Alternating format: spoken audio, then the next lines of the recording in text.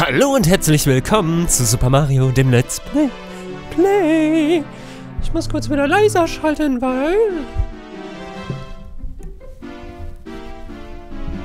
Professionell wie ich bin, habe ich nämlich...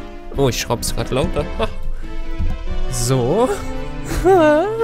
so professionell wie ich bin, habe ich vergessen, die Lautstärke einzustellen am Mikrofon. Ja, muss ich nachjustieren. Okay, habe ich jetzt getan. Hallo, Professionalität. Okay, ähm, ja, wir waren zuletzt am Geisterhaus, Schloss, wo ich versucht habe, 100 Münzen zu sammeln. Was mir auch gelungen ist, möchte ich bemerken, ist mir gelungen. Problem an der ganzen Geschichte war nur, ich habe äh, den bösen Boss nicht mehr besiegen können und damit sollte es auch erstmal das gewesen sein hier mit unseren Geistern. Wir gehen nämlich jetzt in den Keller. Wir gehen in den Keller. Wir machen den Plumber, also den Klempner, machen wir den Keller klar. Den klare Keller kennt keiner. Tiefgründige Lyrik nicht gefunden. Ähm, ja. Heute spiele ich auch mit dem PS4-Controller. Ich habe ihn eingestellt. Und was haben wir hier? Ein Höppelhäschen. Ähm. Ja, komm her. Wow, ich hatte ihn doch schon eigentlich. Moment. Ja. Nein, falsche Richtung. Häschen, hopp. Ach, verdammt. Ich krieg dich, du Höppelhäschen. Ah, schade. Ich dachte, ich krieg den Blind Jump hin. Ist nicht so leicht. Ich hab ihn.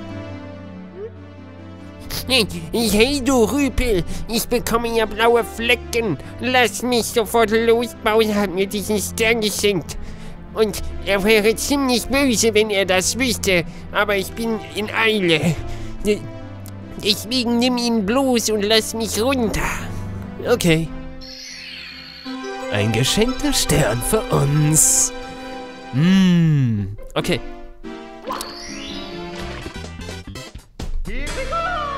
Woo! Unglaublich, du hast einen weiteren Stern erhalten. Verleiht dir zusätzliche Kraft. Nein, tut er nicht wirklich. Ah, ja, der Hase bleibt jetzt hier aussitzen. Wir können ihn nehmen, tragen, rumhöppeln, einmal in die Kamera halten. Mal, das ist der Hase. Warte, Kamera, bitte. Das ist, das ist der Hase hier. Sehen Sie sich ihn an. Mit seinen traurigen blauen Augen, die sagen, Mann, ich bin hier falsch, ich will gehen. Okay, lassen wir ihn einfach mal hier sitzen und beachten ihn nicht weiter. So, wir haben jetzt die Möglichkeit, mehrere Level gleichzeitig zu spielen. Nämlich einmal das Lava-Wunderland. Dann haben wir die Möglichkeit, in diese Wand zu springen. Ja, das geht wirklich, ist jetzt nicht gelogen. Da ist ein Wüstenlevel drin. Ich spoiler gerade ein bisschen. Und wir haben die Möglichkeit, hier reinzugehen, was wir, glaube ich, als erstes machen. Wenn ich mich jetzt nicht in der Tür irre. Nee, ist die falsche Tür. Aber hier können wir auch ein Level machen. Hier sind wir auch ein Level kommen wir später zu. Aber zuerst schalten wir mal was frei. Das fiel mir gerade so nebenbei mal ein, ne? Das machen wir als erstes. Nämlich durch diese Tür gehen. Und man sieht, hier ist sehr viel Wasser. Und wenn wir hier runterschwimmen, was wir gerade mal machen, mit Marios elegantem Körper, geleiten wir durchs Gewasser. Ja, das gute Gewasser. So, dann springen wir hier entlang. Und spring mal kurz hier gegenüber, weil ich was lesen. Weil hier so eine Infotafel steht, die uns was total Wichtiges sagt, nämlich... Einst konnte man die Tür öffnen. Zu dieser Zeit waren die Säulen aber niedriger. Hm, was will uns das Spiel wohl damit sagen? Vor allem welche Säulen? Gut, war auch damals nicht so offensichtlich. Hier die Säulen. Einfach mal draufstampfen. Oh mein Gott, sie gehen runter. Ist ja nicht zu glauben. Und Ah, wir haben es freigeschaltet. Das Wasser wird abgelassen. Das war die damalige Pumpstation und die Knöpfe dafür. Und wir wieder... Wo sind wir denn jetzt hier? Hier sind wir im Schlossgarten, wo plötzlich ähm, das Wasser weg ist. Und uns da oben, äh, hier in Front, was zeigt, sich zeigt.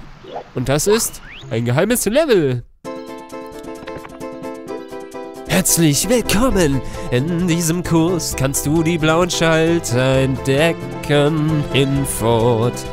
Löst du ihn aus, kannst du ihn allen Blöcken Tarnkappen finden, die dich unsichtbar machen. Auf diese Weise kannst du durch bestimmte Wände gehen Und Gegner ungesehen ausweichen und dann musst du sie nicht schleichen. So, wir machen jetzt, ich versuche zumindest zwei Dinge auf einmal zu machen. Mario zu töten. Nein. Nö, das nicht. Nämlich hier gibt es auch rote Münzen. Und die versuche ich gerade mal zeitgleich einzusammeln. Oder jetzt wird's schwierig. Jetzt wird's schwierig, weil ich nichts sehe. Weil ich nichts sehe. Weil ich nichts sehe. Und Mario ist viel zu schnell. Okay, das war's mit den roten Münzen. Das wollte ich gerade mal am Rande bemerken. Dieses Lied ist bekannt, elegant und charmant. So. Okay, ähm, eigentlich hätten wir da oben noch ein paar rote Münzen sammeln müssen, aber die kriegen wir jetzt nicht mehr. Ich bin einfach mal geschickter vorbeigerutscht. Ist auch mal was Schönes. So. Dafür wird der nächste Part hier nämlich mit den roten Münzen nicht so schleicht. So. Aber geben wir uns erstmal zum Schalter. So. Hier eine rote Münze. Und hier auch eine rote Münze. Ja. So. Und. Hopf. Hopf. Hüpf. Yay. Movements like a player. Pro Gamer. Wow, ich habe sogar die Münze gekriegt, die eigentlich gar nicht so leicht war. Okay. Und hier haben wir den Schalter, der ein bisschen blöd platziert ist, wollte ich schon sagen. Aber der hat ja auf beide Seiten so ein Ausrufezeichen. Du hast den blauen Schalter aktiviert. Ab jetzt kannst du die Tarnkappe einsetzen und Unsichtbarkeit erlangen. Jede blaue Wand, äh, Block beinhaltet eine Mütze. Möchtest du deinen Spielstand speichern? Natürlich. Und hier haben wir sie. Die blaue Tarnkappenmünze, die eigentlich auch rot ist, nur unsichtbar. So, dann können wir nämlich hier rein. Und hier ein bisschen rummachen mit unsichtbaren Dingen. Unsichtbaren Dingen. Die können wir besingen. So, und hier haben wir keinen normalen Ausgang. Deswegen können wir theoretisch auch runterfallen. Ja, eigentlich wollte ich noch einen Sprung machen, aber den haben wir uns jetzt gespart und kommen hier unten im Wasser wieder raus. So. Damit mir nicht derselbe Fehler passiert wie bei Bowsers Level, hier bei dem ersten Aufeinandertreffen mit dem Echsenkönig. Gehen wir jetzt nochmal rein. Und kriegen keine Info mehr. Die brauchen wir natürlich auch nicht mehr. So. Und schwupp. Und stampf. Und. Whoop. Ein Live-Up. Uh, oh, ich habe ihn. Ich habe ihn fast gekriegt. Aber am Ende gehört er mir. So, ich glaube, wir begeben uns mal auf die mittlere Plattform. Mario, bitte? Ja. Ah. Uh. so, haben wir sie alle hier? Catch them all? So. Und noch den... Und das Live-Up möchte ich auch. So, ich würde sagen, das war's hier oben. Und dann rutschen wir einfach mal ein bisschen ab. Und bremsen hier. Und hier. Damit wir etwas von den Gegnern in Ruhe gelassen werden. Laufen wir einfach rum. Die sehen uns angeblich nicht, aber schießen noch ihre Flammen. Aber die haben uns jetzt nichts an.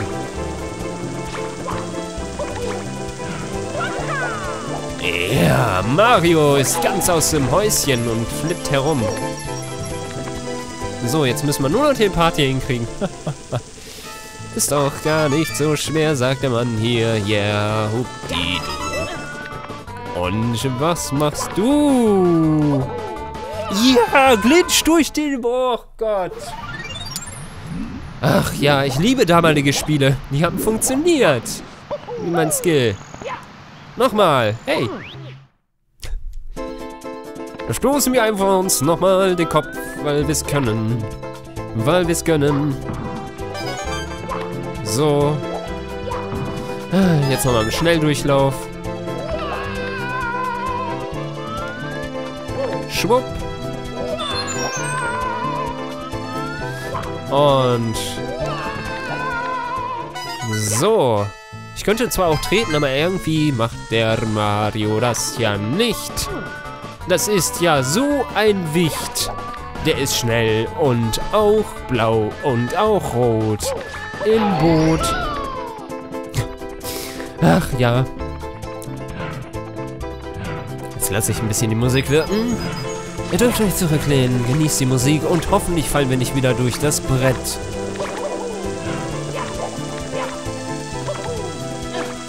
Wände hochzuspringen ist schon manchmal eine Kunst, die ich gerade nicht beherrscht habe.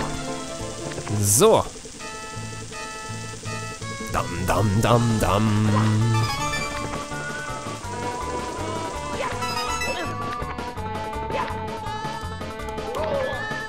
Wow, da haben wir einfach mal matschig gemacht.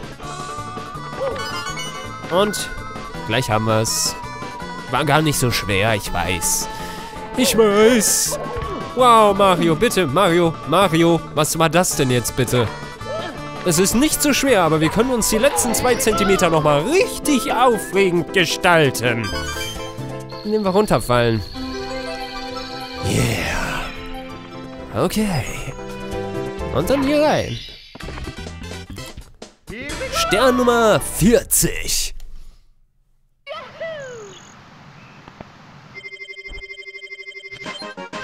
Ein weiterer geheimer Stern des Schlosses. So, damit sind wir jetzt auch durch und können... Ah, ich habe gedacht, wir machen das in der Folge nicht, aber wir kommen nochmal zu unseren Freunden, den Geistern. Denn jetzt, wo wir auch so eine Geisterscheinung sein können, können wir nämlich auch was Besonderes bei denen machen.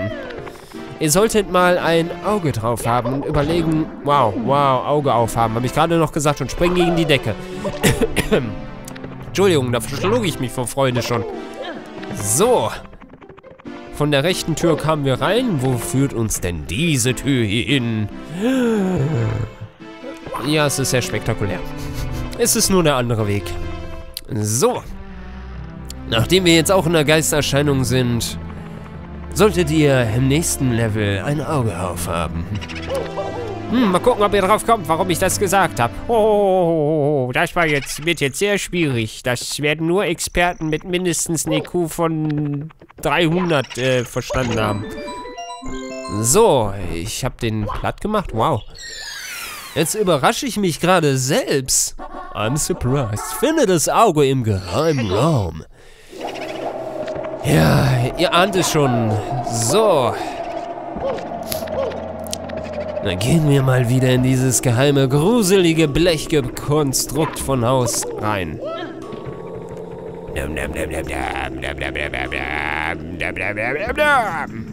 So, ich zeige euch kurz, was wir machen müssen. Zumindest in der Theorie. Wow. Zum Thema Theorie, da kamen theoretisch Bücher angeflogen. Theoretische Bücher. Ja. So. Zu dem, was wir machen müssen, wollte ich gerade sagen. Wir müssen durch diese linke Tür. Äh, also wir müssen hier irgendwie reinkommen.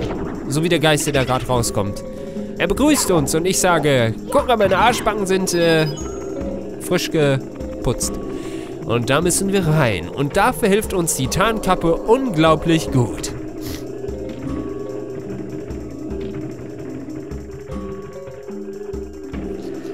Denn hier, am geheimen Ort der Geheimnisse, haben wir nämlich so eine blaue Kiste. Und haben dadurch die Möglichkeit, durch Wände zu schreiten, die uns es jetzt erlauben, durch andere Dinge zu gehen und nicht nach oben zu bleiben. Und wir müssen uns beeilen, denn die Kappe bleibt nicht ewig lang. Nicht lang. Und jetzt können wir hier durch und... Oh mein Gott, es klupscht mich an. Es ist so groß, so groß. Es ist das gigantonomische Auge im Geisterhaus. Und knuddeln. Oh, drüber gesprungen. Whoopi. Mit dem exquisiten Fußprofil-Kick. Und wir haben das Auge im geheimen Raum gefunden. Grandios, wir sind gut. Damit haben wir, glaube ich, alle Level erledigt hier mit den Geistern. Und zur Bestrafung gibt es nochmal die Pobacken der Stahligkeit von Mario. Ja. So, jetzt kommen wir zu dem geheimen etwas namens Level. Wobei ich gucke gerade mal auf den Timer. Das sollten wir noch ein Level hinkriegen. ein Level. So, entweder machen wir uns ins Lava-Level, ins Underground-Level oder... Ich muss mal kurz gucken. Manche Toasts gaben mir hier Sachen. Baba, wow, du hast bereits so viele Sterne gefunden. Ich bin sicher, das war kein Kinderspiel. Ich habe noch einige Tipps, die ich dir bei der Suche nach Bauersternen von Nutzen sein könnten. Sammle Münzen, um deine Energie aufzufüllen. Ihre Farbe entscheidet, wie viel Energie du erhältst. Gelbe Münzen geben eine, rote zwei und blaue ganze fünf Energieeinheiten zurück. Damit die blauen Münzen sichtbar werden, musst du ihren Schalter auf den Boden stampfen. Halte Verletzungen gering, indem du bei Stürzen am letzten Moment eine Stampfattacke ausführst. Wow, deine lebensnotwichtigen Informationen. Kopfschütteln. Naja gut, er hat einen guten Willen, also hey, was soll's. So, ich würde sagen, wir gehen ins Underground-Level. Underground. So, und hier, man sieht schon, es ist kein Graf... Wow, es ist kein Grafikfehler, es soll metallisch aussehen. Denn dieses Level beinhaltet nämlich viele metallische Dinge, wie zum Beispiel eine Schraube, Rohre, Gitter und ähm, andere Dinge wie... Andere Dinge halt, so. Aber hier in der Ecke ist nämlich noch ein Toad und ich glaube, der gibt uns noch einen Stern. Achte darauf, deine Mütze solltest du nicht verlieren. Wirst du durch einen Treffer schwerer verletzt, wenn du sie nämlich nicht aufhast. Solltest du sie nämlich einmal verlieren, findest du deine Mütze in dem Gemälde, in dem du sie verloren hast. Die Prinzessin wird noch immer von Bowser gefangen gehalten. Rette sie so schnell wie möglich. Bowsers Schergen belagern seit langer Zeit die Welt der Gemälde und Wände des Schlosses. Aber es ist mir gelungen, ihnen diesen Stern abzujagen. Viel Glück! Dieser Fuchs, auch wenn es ein Pilz ist, dieser Pilz. Mann. Uh, und wieder einen unglaublich geheimen Geheimstern, den wir uns gerade geheimnisvoll eingesackt haben. Ja, denn es lohnt sich auch mit denen zu reden. Habe ich doch recht gehabt. So. Ich überlege gerade, sollen wir hier ein Folgenpäuschen machen? Ja, machen wir ein Folgenpäuschen. Dann ist die Folge heute nicht so lang, aber zumindest äh, haben wir einen besseren Schnitt.